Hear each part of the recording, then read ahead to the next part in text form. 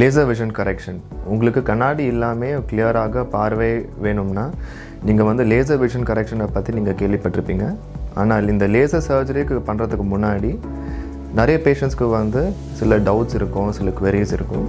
நம்ம இந்த வீடியோவில் the most common questions before laser surgery நான் எக்ஸ்பிளைன் பண்ண போகிறேன் I am doctor Aditya Varman from Uma clinic Chennai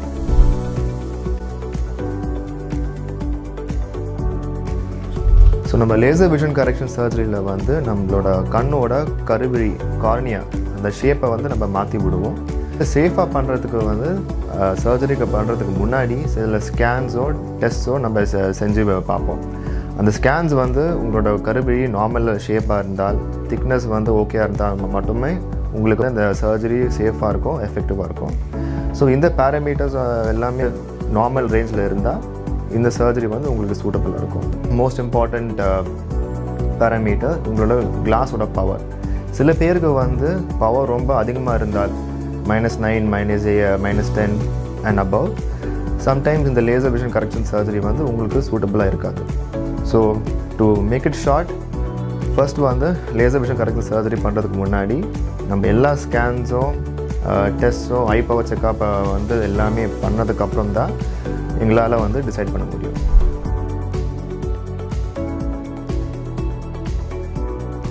laser vision correction வந்து உங்களோட டிஸ்டன்ஸ் பவரை மட்டும்தான் கரெக்ட் பண்ணும். ஸோ உங்களுக்கு ஆல்ரெடி தெரிஞ்சிருக்கும் நாற்பதுக்கு வயசுக்கு மேலே எல்லாருக்கும் வந்து ரீடிங்க்காக நம்மளுக்கு ஒரு எக்ஸ்ட்ரா கிளாஸ் போட வேண்டியிருக்கும். This is only after the age of forty இது ஏன் அது அப்படி ஆகுதுன்னா நம்ம உள்ளே இருக்கிற கண்ணுக்கு இருக்கிற ஒரு லென்ஸ் வந்து நாற்பதுக்கு வயசுக்கு மேலே கிட்ட பார்வைக்கு வந்து சரியாக ஃபோக்கஸ் பண்ணாது. ஸோ இது வந்து ஃபார்ட்டி இயர்ஸ்க்கு மேலே கண்டிப்பாக அவங்க ரீடிங் கிளாஸ் போட்டால் தான் ஃபோன் படிக்க முடியும் நியூஸ் பேப்பர் பார்க்க முடியும். இது வந்து லேசர் விஷன் கரெக்ஷன் வந்து இது கரெக்ட் பண்ணாது. ஆனால் டிஸ்டன்ஸ் விஷன் கரெக்ஷன் தூர பார்வைக்கு. அந்த ப பார்வைக்கு வந்து நீங்கள் கண்ணாடி போட்டிருக்க பவர் வந்து அது ஹண்ட்ரட் பர்சன்ட் கரெக்ட் பண்ணிடும். ஸோ இதனால தான் வந்து நம்ம யூஸ்வலாக ரெக்கமெண்ட் பண்ணுற age group is between twenty to thirty so suppose உங்கள் நீங்கள் வந்து டுவெண்ட்டி இயர்ஸ் வந்து வந்து நீங்கள் இந்த லேசர் விஷன் கரெக்ஷனை பண்ணிங்கன்னா ஃபார் லைஃப் லாங் வந்து உங்களுக்கு வந்து டிஸ்டன்ஸ் பவர் ஜீரோவாக இருக்கும். நாற்பதுக்கு வயசுக்கு மேலே தான் உங்களுக்கு வந்து ரீ ரீடிங் பவர் வந்து உங்களுக்கு ஒரு கண்ணாடி போடுற மாதிரி இருக்கும். ஆனால் so between the ages of twenty to forty உங்களுக்கு வந்து டோட்டல் டோட்டல் கிளாஸ் ஃப்ரீடம் இருக்கும். So the other question is so நாங்கள் நான் ஃபார்ட்டி இயர்ஸ்க்கு மேலே இருந்தால் நான் இந்த லேசர் விஷன் கரெக்ஷனை பண்ண முடியாதா? தாராளமாக பண்ணலாம். உங்களுக்கு வந்து ஃபார்ட்டி இயர்ஸ்க்கு மேலே ப- பண்ணாலும் உங்களுக்கு distance vision hundred percent correct ஆகும். ஆனால் நீங்கள் வந்து forty two to forty four age ரேஞ்சில் வந்து உங்களுக்கு திருப்பியும் ரீடிங் கிளாஸ் வரும். ஆனால் டிஸ்டன்ஸ் பவர் கிளியராக இருக்கும்.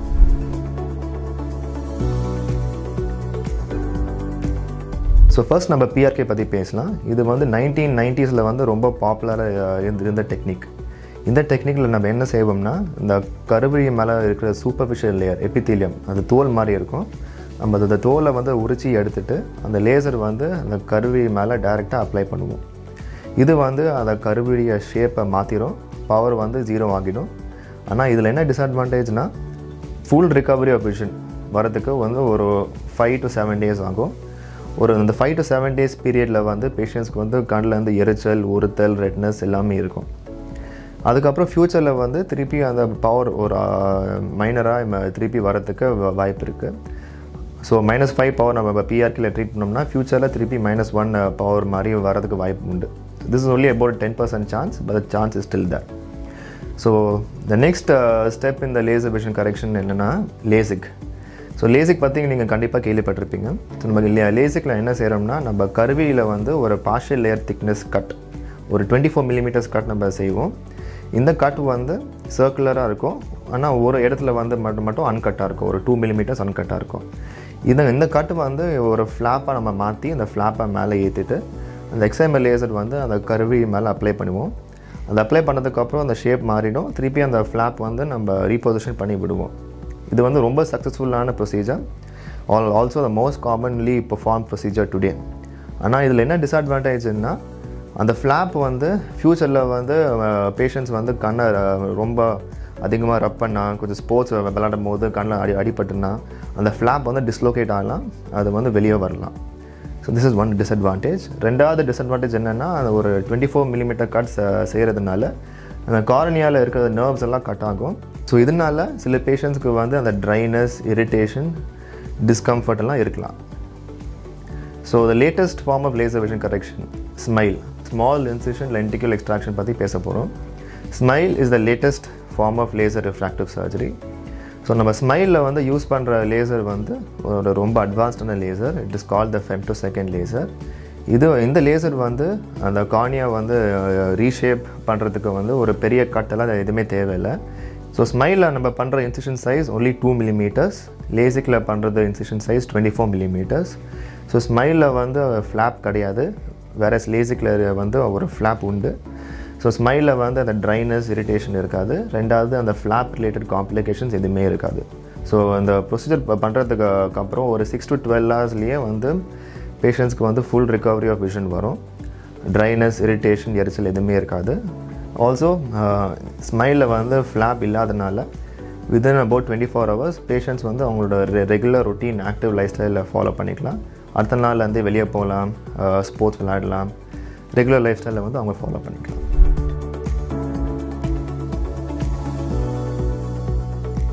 ஸோ இந்த அனஸ்தீசியா ட்ராப்ஸ் போட்டதுக்கப்புறம் கண் வந்து மறுத்துரும். எந்த வலியுமே பேஷண்ட்ஸ்க்கு தெரியாது. ஆனால் கண்ணில் வந்து அந்த டச் சென்சேஷன் தொடுறது மட்டும்தான் தெரியும். ஆனால் வலின்னு வந்து அந்த மாதிரி ஒரு ஃபீலிங் ஒரு சென்சேஷனே இருக்காது. ஆல்சோ அந்த ப்ரொசீஜர் செய்யும் போதே இந்த ஒரு ஃபியூ மினிட்ஸ் நம்ம அந்த டாப்பிக்கல் அனஸ்தீசியா ட்ராப்ஸை வந்து நம்ம அப்ளை பண்ணிகிட்டே இருப்போம். ஸோ பேஷண்ட்ஸ்க்கு வந்து எந்த விதமான டிஸ்கம்ஃபர்ட்டுமோ இருக்காதுங்க.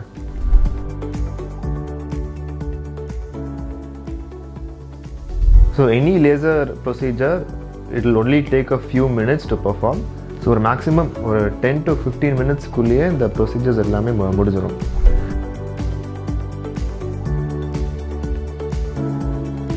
ஸோ பேசிக்காக ஸ்மைல் ஓ ஸ்மைல் ப்ரோ வந்து it is the same procedure mechanics எல்லாமே அதே தான் but the one difference in SMILE pro is SMILE ப்ரோவில் வந்து இந்த லேசர் அப்ளிகேஷன் டைம் வெறும் எட்டு செகண்ட் தான் ஆகும்.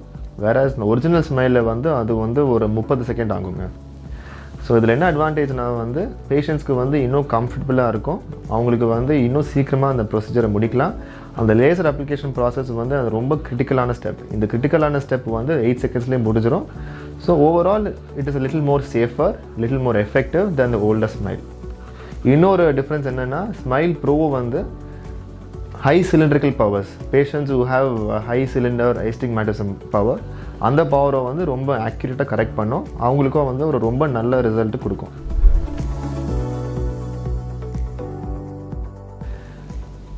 ஸோ நம்ம லேசர் விஷன் கரெக்ஷன் சர்ஜரிக்கு பண்ணுறதுக்கு முன்னாடி நம்ம வந்து சில டெஸ்ட்டோ ஸ்கேன்ஸோ எடுப்போம். இந்த டெஸ்ட்டோ ஸ்கேன்ஸை வந்து உங்களோட கருவி ஷேப் எல்லாம் நார்மலாக இருக்குது திக்னஸ் ஓகேயாக இருக்குது பவர் வந்து எல்லாமே ஸ்டேபிளாக இருக்குதுன்னு இப்படி இருந்தால் உங்களுக்கு வந்து இந்த லேசர் விஷன் கரெக்ஷன் சர்ஜரிக்கு பண்ணுறதுக்கு ரொம்ப சேஃபாக இருக்கும். ஃப்யூச்சரில் வந்து அந்த பவர் வந்து திருப்பி வர்றதுக்கு வந்து வாய்ப்பு இல்லைங்க. ஸோ இந்த ஸ்கேன்ஸோ டெஸ்ட்டோ எல்லாமே ஓகேயாக இருந்தால் உங்கள் உங்கள் ஆப்தமாலஜிஸ்ட் நீங்கள் இந்த லேசர் பண்ணுறதுக்கு நீங்கள் ஃபிட்டாக இருப்பீங்க அவர் சொன்னாங்கன்னா நீங்கள் தைரியமாக அதை செய்யலாம். திருப்பி ஃப்யூச்சரில் வந்து பவர் வராது.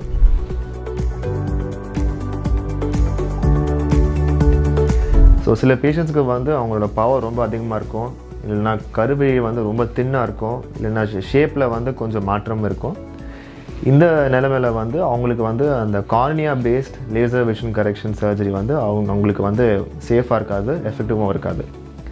ஸோ இந்த சமயத்தில் வந்து we have another option this option is call ICL the full form is known as implantable collamer lens so இந்த ப்ரொசீஜர் நம்ம என்ன செய்கிறோம்னா நம்ம வந்து ஒரு காண்டாக்ட் லென்ஸ் மாதிரி கண்ணுக்கு உள்ளே நம்ம இன்னொரு லென்ஸ் வந்து நம்ம பர்மனெண்ட்டாக ஃபிக்ஸ் பண்ணி விடுவோம். இந்த லென்ஸ் நம்மளோட ஒரிஜினல் ஹியூமன் லைன் லென்ஸ்க்கு மேலேயே உட்காரும். ஸோ இது வந்து ஒரு காண்டாக்ட் லென்ஸ் மாதிரி பிஹேவ் பண்ணும். பட் காண்டாக்ட் லென்ஸ் வந்து வந்து நம்ம டெய்லியோ வந்து நம்ம கண்ணிலேருந்து ரிமூவ் பண்ணி அந்த கண்ணிலேருந்து திருப்பி அந்த சர்ஃபேஸ் மேலே அப்ளை பண்ண மாதிரி இருக்காது. ஒன்ஸ் இந்த லென்ஸ் உள்ளே போட்டதுக்கப்புறம் லைஃப் லாங் அந்த லென்ஸ் நம்ம கண்ணுக்குள்ளேயே உட்காரும். பேசிக்லி பேஷண்ட்ஸுக்கு uh, வந்து இது ஒரு லேசர் மாதிரியே நினச்சிக்கலாம்.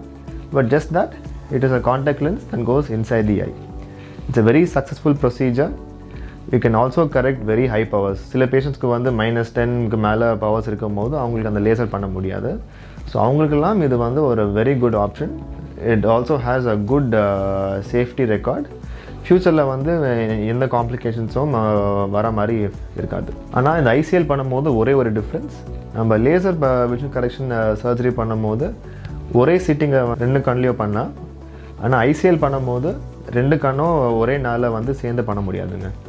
We have to keep one day gap in between so எல்லா ஸ்டெரைல் ப்ரிகாஷன்ஸ்க்கும் ஃபாலோ பண்ணுறதுக்கு தான் நம்ம வந்து ஒரு நாள் விட்டு ஒரு நாள் தான் நம்ம இந்த சர்ஜரி பண்ண முடியும். So one day will do one eye next day will do the other eye this is the usual ப்ரோட்டோகாலுங்க laser vision correction பற்றி எல்லா காமனான கேள்விகள் இப்போ நான் ஆன்சர் பண்ணியிருக்கேன். உங்களுக்கு இது மேலே ஏதாவது கேள்விகள் இருந்தால் நீங்கள் கமெண்ட் பாக்ஸில் விடலாம். Thank you for attention